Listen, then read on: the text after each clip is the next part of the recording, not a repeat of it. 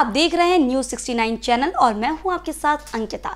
चलिए रुक करते हैं खबरों की ओर। बुरहानपुर ज़िले में बनने वाली सड़क भ्रष्टाचार की भेंट चढ़ रही है। इसका ताज़ा उदाहरण सुंदर नगर से कुंदन।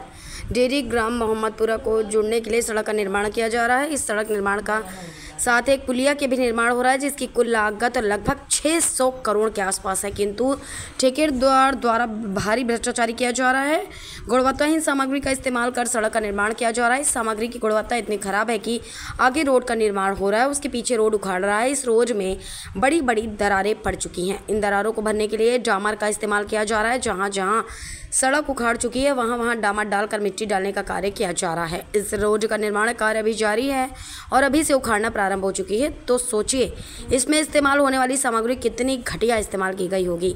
वहीं कांग्रेस नेता हेमंत पाटिल ने भी इस रोड की गुणवत्ता पर सवाल खड़े किए हैं और आरोप लगाया है कि भाजपा के राज में भारी भ्रष्टाचार किया जा रहा है।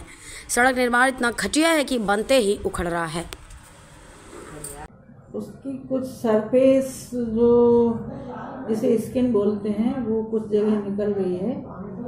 तो चूँकि वो कंस्ट्रक्शन एरिया में भी है अभी वहाँ काफ़ी कंस्ट्रक्शन भी चल रहा है। तो उस पर हम माइक्रो सरफेसिंग करके उसको रिपेयर कराएँगे। अभी पीजी में है वो कॉन्ट्रैक्टर को नोटिस दे दिया है और वो करवा रहा है। मैम ऐसा नहीं होगा कि गुणवत्ताहीन वहाँ निर्माण कार्य नहीं गुणवत्ताहीन तो नहीं कभी कभी स्किन निकल जाती है ट्रैफ़िक से। मैडम जिस तरह से वहाँ देखा भी जा रहा है कि जो है काफ़ी यानी रोड बिल्कुल ही गुणवत्ताहीन नज़र आ रहा है। उसको लेकर के क्या और कुछ नोटिस वगैरह जारी करेंगे? जहाँ रोड की सरफेस यानी स्किन निकल गई थी वहाँ पर अपन ने कॉन्ट्रैक्टर को रिपेयर करने के निर्देश दिए हैं और उसने आश्वासन दिया है कि वो आठ से दस दिन में सर्विस ठीक करेंगे कितनी लागत से बन रहा है इसकी लागत है दो करोड़ पैंतीस लाख। खुलिया सही?